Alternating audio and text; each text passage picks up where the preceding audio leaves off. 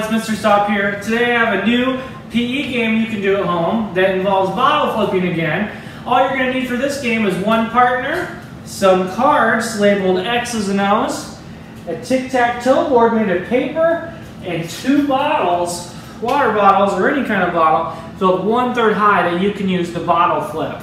So one's going to be for you, one's for your partner. This game is called Bottle Flip Tic-Tac-Toe. One partner is going to be the X's, the other partner is going to be the O's.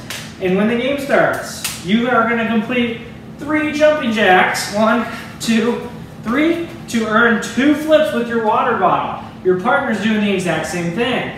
If you can get your water bottle to flip in the air and land on it's on the normal way upright, that means you get to take one of your cards and place it on the tic-tac-toe board.